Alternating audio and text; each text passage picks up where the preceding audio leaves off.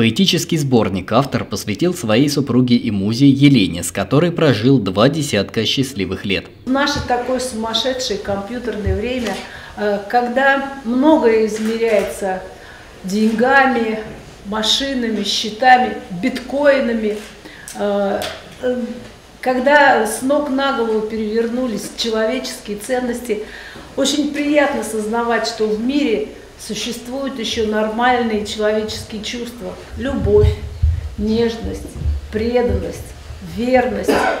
И вот все эти чувства, они не где-то в облаках находятся, а эти э, чувства между двумя людьми, которыми хорошо знаешь, которым испытываешь глубокое уважение и глубокую симпатию. И от этого становится на душе так светло и радостно, и приятно.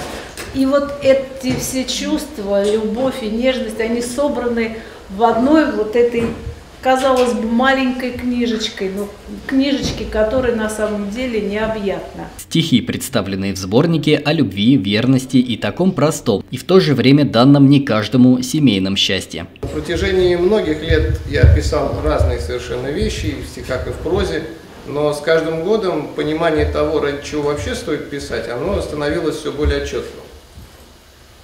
И вот спустя 20 лет совместной супружеской жизни – я решил сделать своей любимой женщине такой подарок. Поддержать коллегу по творческому цеху собрались многие известные поэты Орехова-Зуева. И каждый отметил, что выход новой книги – несомненно знаковое событие в литературной жизни города.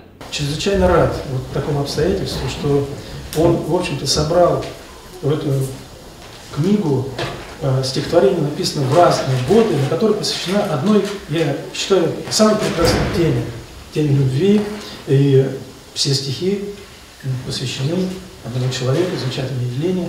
Вот я думаю, что это очень достойный поступок поэта и мужчины. Благодаря ему вышли три альманаха Орехово-Зуевской э, поэзии и литературы. Благодаря ему вышло, э, вышел сборник Аркадия Кошелева который был собран из буквально из нескольких тетрадей, э, и никогда стихи вот в таком формате, в таком объеме а стихи Аркадия Кошлева не публиковались.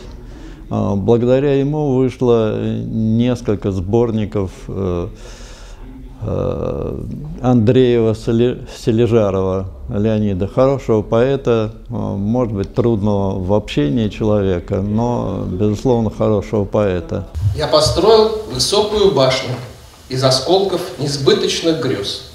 Мне казалось, что это не страшно, то, что сны мои ветер унес. Я развеял ночные сомнения и расстался с заветной мечтой отыскать среди тысяч растений – тот волшебный цветок голубой. Я не верил, что утро настанет на одной из печальных планет, но на миг в предрассветном тумане мне привиделся твой силуэт. Я искал тебя долгие годы. Ты пришла из далекой страны, где в озерах прозрачные воды отражают сияние луны. Ты сказала, проснись и послушай, это жизнь лишь дыхание цветка. Я отдам тебе сердцу и душу, но будь верен моим лепесткам. И с тех пор я не знаю покоя. Путь к тебе несказанно далек. Я навек очарован тобою, голубой недоступный цветок.